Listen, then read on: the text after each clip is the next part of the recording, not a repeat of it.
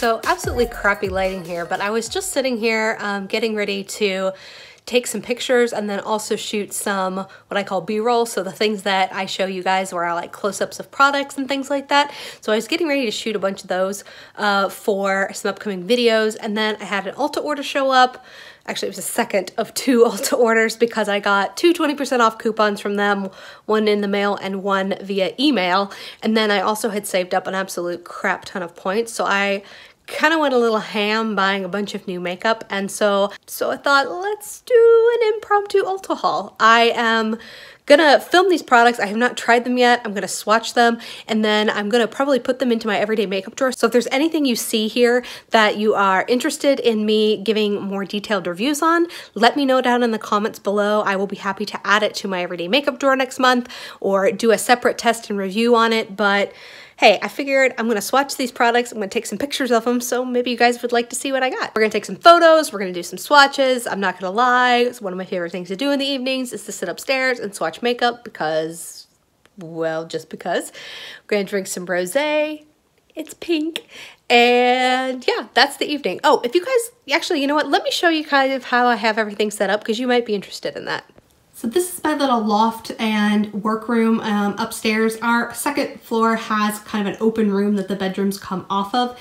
And then right now, I actually just, when I'm taking pictures of things, I set up a card table out here, scoot a bunch of stuff over, throw up these soft boxes, which were actually not very expensive. I will try and find the kit that I got off of Amazon. It actually came with all three of these soft boxes uh, for pretty cheap. Um, and then what you guys are used to seeing when I film is actually this background. So when I go and actually film a video, I basically scoot all this stuff down so that this bookshelf becomes my backdrop and then the lights are now the lights face towards it. Um, so that is kind of the setup here. So here are the products that I got. Oh gosh that's a lot. Um, and then this is kind of my usual setup. So I actually have my camera facing down on a tripod that I don't even touch. And then it actually runs into my computer. And when you buy a Canon, they actually have something called the utility app, which is great. And it actually allows me to take photos directly from my laptop. So I can see what I'm doing here. I can adjust all of the camera settings here. I can see microphone if I'm doing any sort of recording. And then as I like pick up and move things, so you can actually see that on the computer. So I really love this setup. And I also, when I'm filming um, and you're looking at me, this is what I'm seeing on my screen. So I can see if I'm in frame, if I'm in focus. Uh, this is just a really great utility that Canon puts out specifically that works so well with the cameras. And then I'm trying something new. I got a new microphone um, just because I've really not been happy with the audio lately and I've had to do a lot of tinkering on the computer before I've been posting. So I broke down and got a new mic. This is the first time I'm using it tonight. So right now I'm recording on my iPhone and then we're going to switch to the um, this new microphone here in a second and we'll see if it makes any difference. So, okay, there was your little impromptu behind the scenes setup. Uh, I'm gonna go ahead and show you guys what I've got and uh, let's do some swatches. Okay, so we've just switched to my Canon camera and the new microphone. So I'm guessing there's probably going to be a difference in audio. You're now seeing what was sitting in the table in front of me and all the makeup that I got. So I just kind of wanted to show you an overview of everything I picked up and make sure and let me know in the comments below if there's anything that you are interested in seeing more details of once I've had a chance to play with it for a few weeks. Uh, happy to film either a haul update or just focus in on a few products if you guys are interested. Okay, so I'm going to move all this off to the side and then kind of bring in items one by one so that you can see kind of what I got. I'm also going to apologize because the hand that you're going to see here is my right hand and I've been breaking down boxes and trying to organize our basement a little bit. And as a result, I've got like war wounds from boxes all over my hand. So that's fun. All right, so let's move all this off to the side and let's go through these one by one. We're going to start with the eyeshadow palettes first. I picked up the Shaaanxo, the Remix palette. I never got her original palette because I wasn't in love with having lipsticks on the other side. I'm just not a lip palette kind of girl. But the new Remix palette actually has shades on both sides. So you've got these pinky purple, uh, peachy shades on this side. And then if you flip it, You actually have uh, different shades on the backside that are more neutrals. You've got a couple duochromes. So I really love this palette. I think it's really compact now and has really great shades and can you can make some really interesting eye looks from it. So you have a mirror on both sides of the palette, which I think is also a very nice touch. I think the colors are really cool. I am uh, definitely excited to play around with this guy. This is the Makeup Revolution palette. This is the Reloaded Iconic Division palette. This is clearly a dupe for the Subculture palette. So I didn't end up picking up the Subculture palette because I really didn't like what I saw from the reviews from a formula perspective but I was still really interested in the color. So I've since picked up two dupe palettes. I've picked up this one from Makeup Revolution and then I've picked up another from the Shop Hush website and I want to try both of them and compare my first impression after swatching both this one and the Shop Hush one side by side here is that the Makeup Revolution one is just not quite as pigmented as the other, but I've not put them on my eyes yet. So I'm curious to see how I feel about these shadows once I've actually applied them on my eyes. I'm hoping I get the colors and just the unique eye looks that I think you can get out of the subculture palette without all of the hassle. Okay, so I did end up picking up two of the Stila liquid eyeshadows. One is their Glitter and Glow, and this is in the shade Diamond Dust. So that is Diamond Dust. And then I picked up the new Shimmering Glow. So this is more just like a metallic foiled liquid shadow.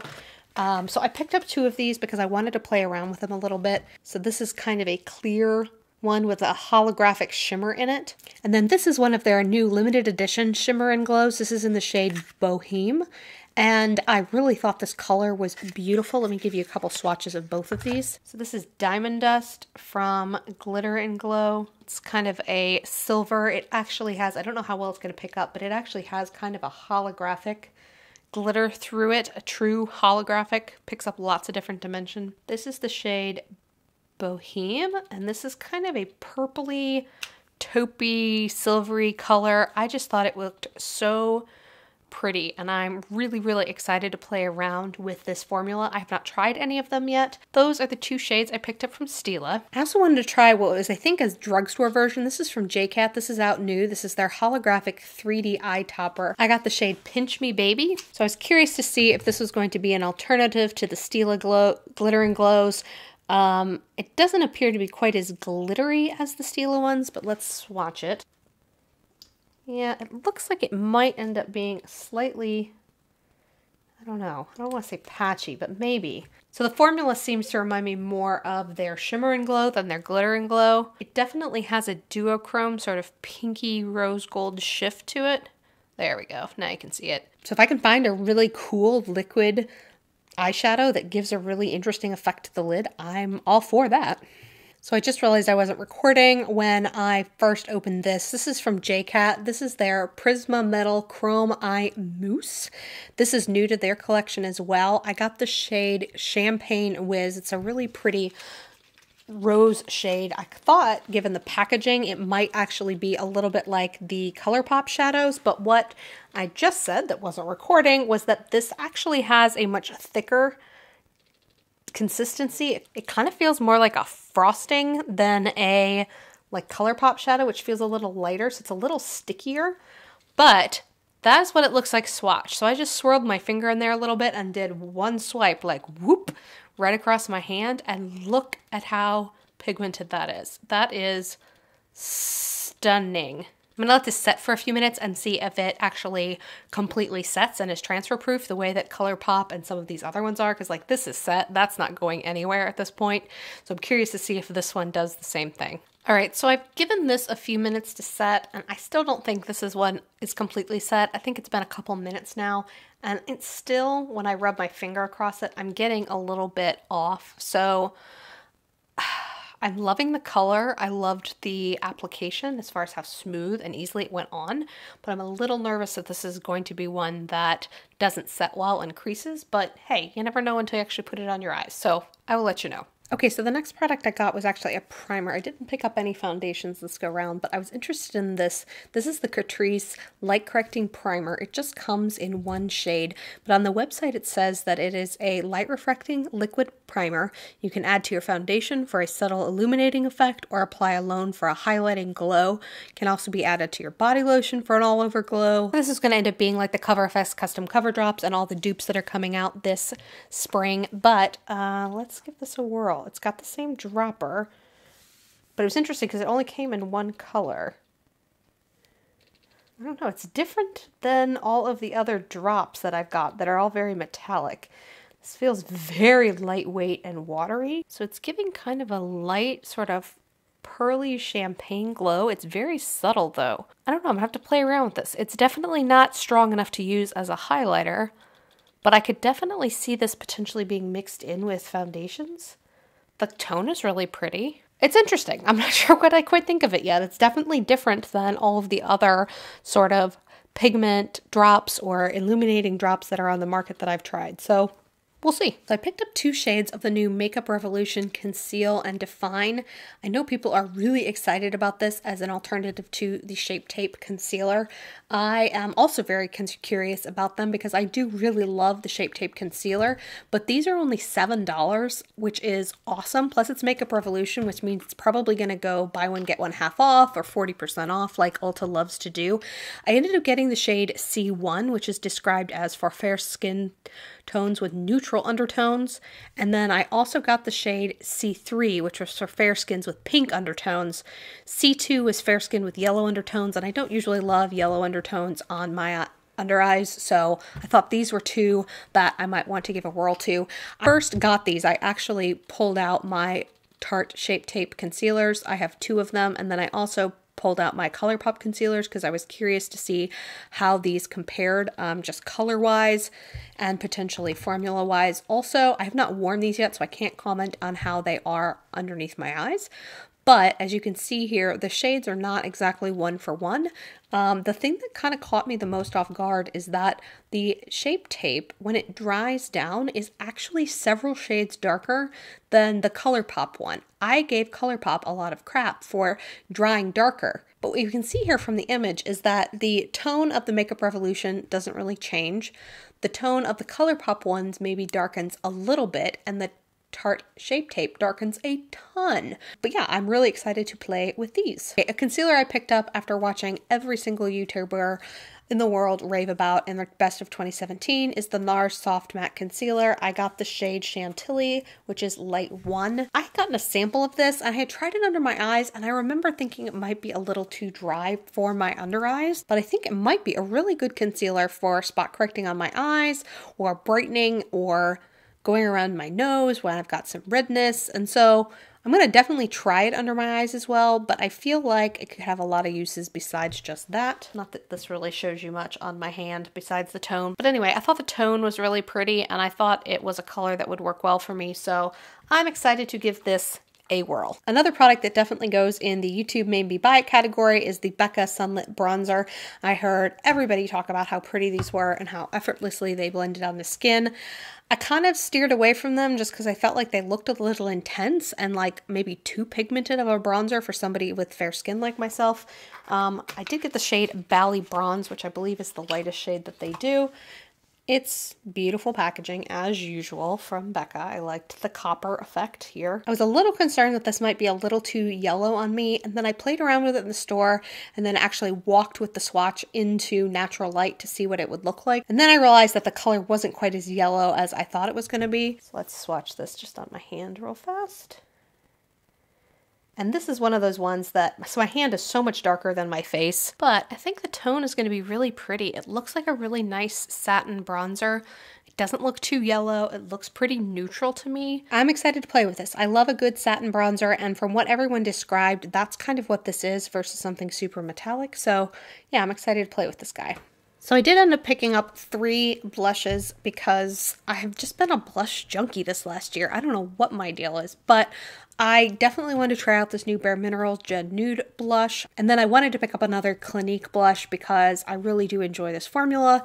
And then Catrice came out with these new strobing blushes that looked really pretty. So here is the Catrice strobing blush. I just thought this was so pretty. This is the shade Mrs. Summer Peach. I believe they had two other shades of this, maybe three. But I thought let's get a more neutral one. I like blushes like this because I feel like you can concentrate your brush in different areas and get slightly different tones. So let me do a little swatching here. Okay, so here are all the swatches. The first shade on the far left there is just the lightest shade in the blush, then the middle shade, and then the darkest shade to the right, and then the final shade, the fourth shade there, is actually all of them swirled together. So I think this is a really pretty blush, and it looks like it's going to be a nice satin formula, which I love in blush form formats, so yeah, excited for this guy. This is the Gen Nude blush from Bare Minerals. I was so excited to see that they were doing a whole line of nude ish colored blushes. This is the shade Call My Blush. Packaging's really pretty. It's got kind of a clear lid so you can see the color easily. And then this is just a really pretty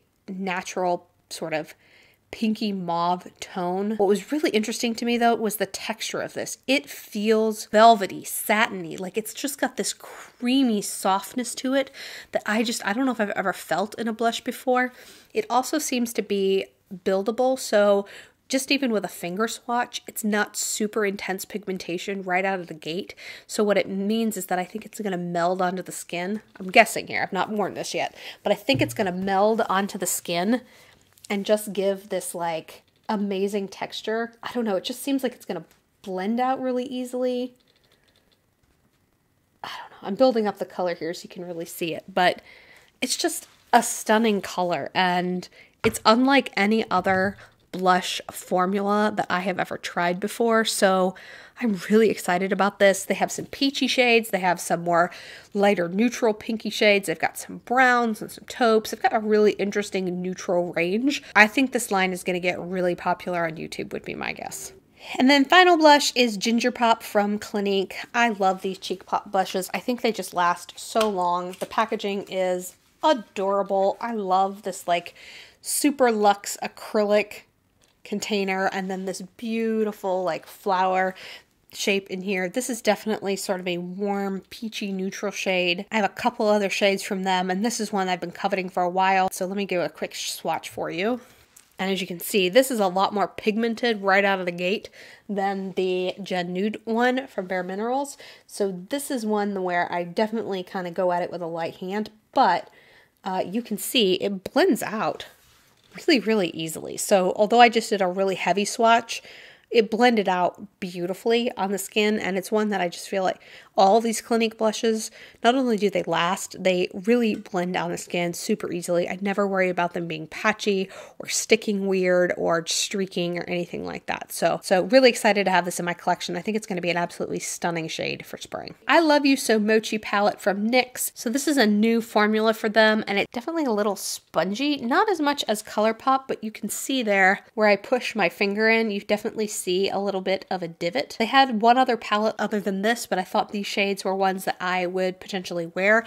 Having swatched them once already, I'm a little concerned that there's going to be more glitter in here than I typically like, but let me show you what I mean. So you've ended up with highlighters, one that's very bluish. The white shade is actually a blue shift. The gold shade actually is a peachy gold shift. And then the one in the middle that's pink is more of just a I would say silvery pink shade that probably looks the most flattering.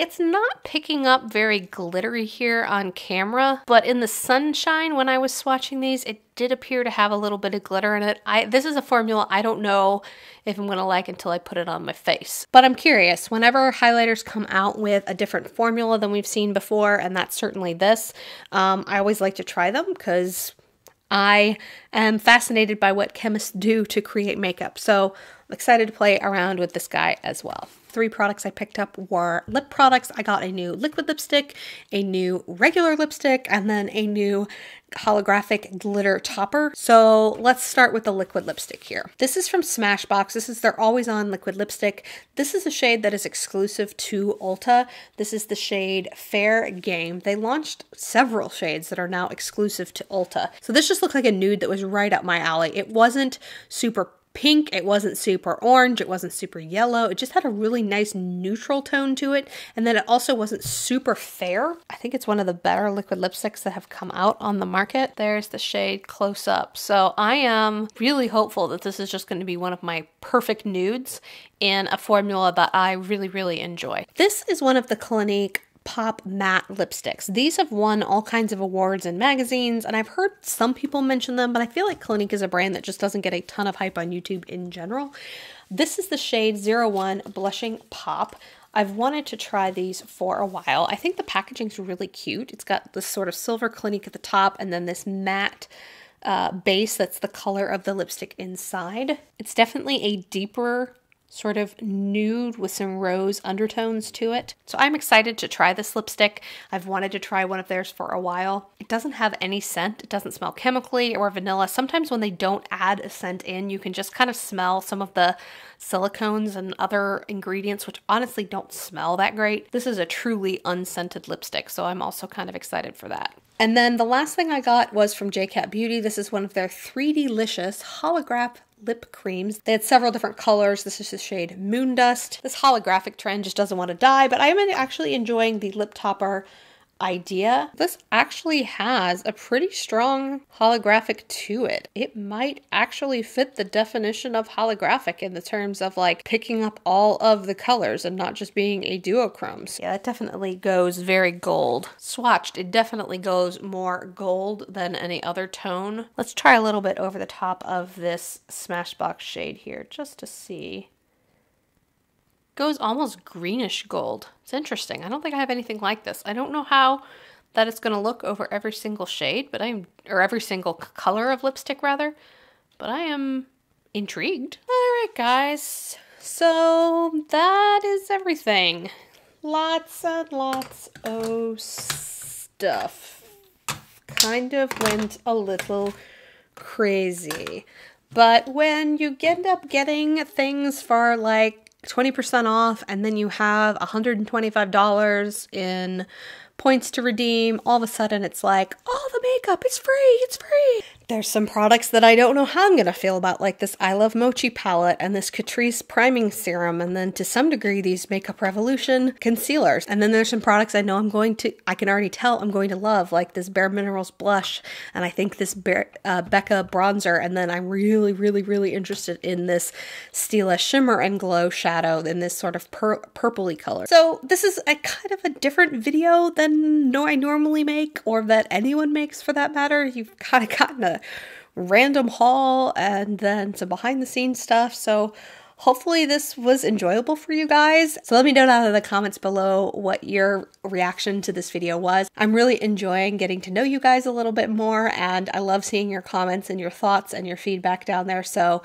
thanks for tuning in. Hope this was fun. Have a great day. Love you guys. Bye.